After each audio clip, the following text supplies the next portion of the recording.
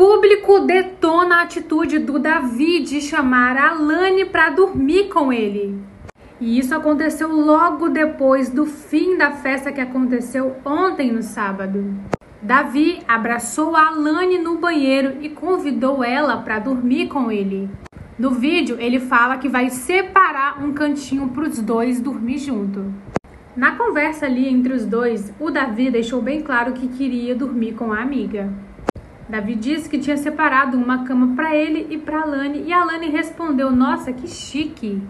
Só que essa cena não agradou nem um pouco o público que começou a criticar essa atitude que ele teve, porque todo mundo já sabe que o Davi é casado.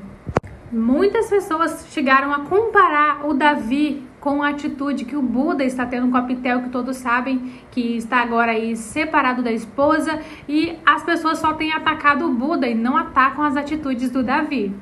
Agora, de uma coisa a gente sabe, cada um vê essa cena com os olhos, cada um tem a sua opinião.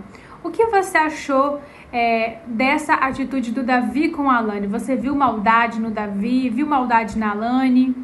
Porque mesmo Davi tendo essas atitudes de ficar abraçando muitas meninas, de beijar muito, o público vê isso como uma linda amizade, não vê isso com olhos de maldade.